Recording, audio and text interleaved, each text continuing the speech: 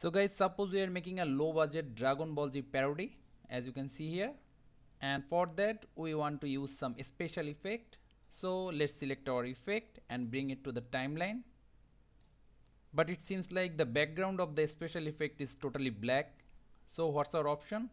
For remove the black background select the effect layer then go to effect then channel then click on shift channel now at the left side change from alpha to luminance. Seems like the effect is working properly but there is one more problem. The opacity is really down.